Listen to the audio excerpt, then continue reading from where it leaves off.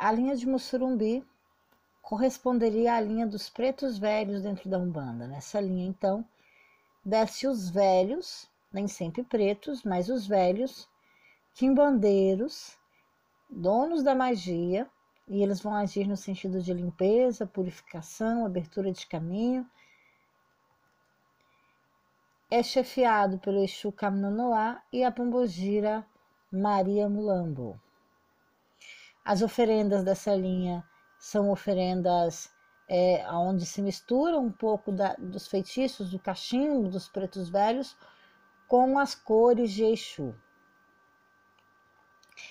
Antes de continuar, houve um debate recentemente em um, em um grupo do que as pessoas estavam achando do assentamento dos pretos velhos que estavam pedindo, descendo em terra para pedir corte. Já é um grito dessa linha, viu? Os pretos velhos que descem para pedir para ser assentado com corte já estão então mostrando a existência dessa linha. Regido por eixo dos ventos, eixo morcego, eixo sete portas, eixo tranca tudo, eixo Marabá, eixo Sete Sombras, eixo Calunga, finalizando assim a linha, o estudo das linhas de Mussurumbi de dentro da Quimbanda.